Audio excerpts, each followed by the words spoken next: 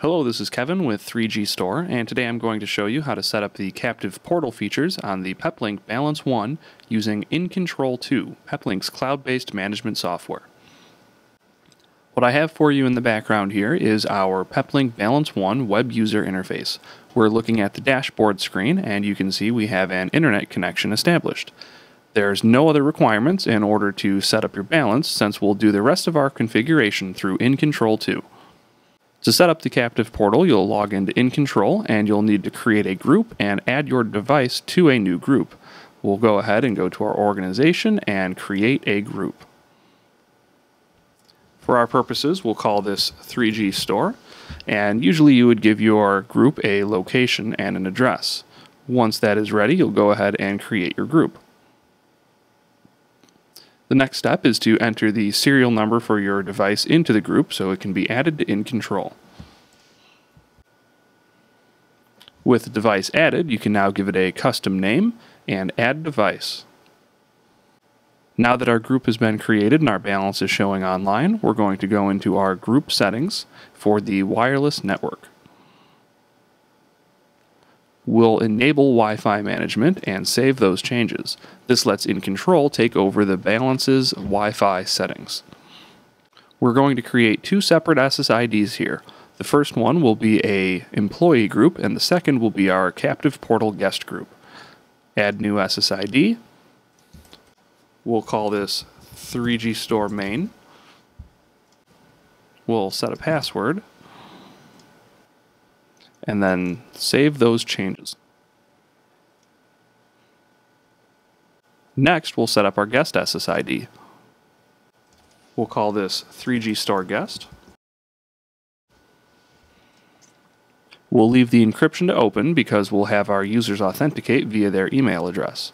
We'll scroll down through the bottom of our settings and we'll enable the captive portal feature. With Captive Portal enabled, we now have a number of different ways we can configure our access point. Social lets us log in through things like Facebook and LinkedIn.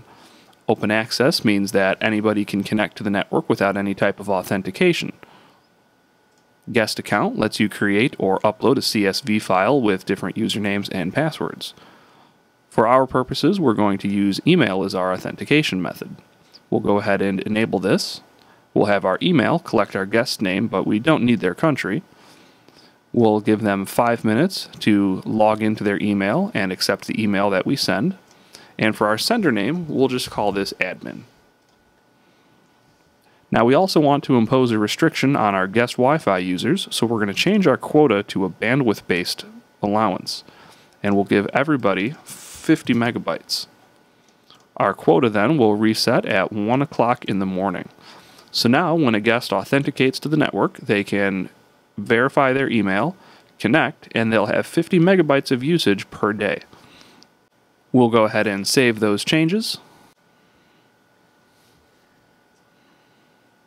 And now InControl has our 3G Store main and our 3G Store guest networks creative. You can see that we have our captive portal enabled on our second network. Once InControl has been updated, we can now go back to the balance and we'll see our changes have already been applied. Now you see our Wi-Fi AP has our 3G store main with the padlock, meaning it is secured, and our 3G store guest, which is unsecured, but using our email authentication with the captive portal. So now we are on an Android phone, and we're going to open up our wireless search and connect to our new 3G store guest network that we created through InControl 2. We'll go ahead and select that network, and you can see it shows no security, and we'll connect. Depending on the device, you may get a prompt that says extra actions are required, or you may just need to open up a web browser to get to the captive portal page. Opening up our browser on the phone, you can see we're immediately redirected to our welcome screen. Now we didn't change any of the default settings, we left the Peplink logo in background, but you can fully customize the images, text, and terms and conditions page through InControl 2. Our next step here is to enter our email address that is prompted on the page. We'll go ahead and submit this after agreeing to the terms and conditions.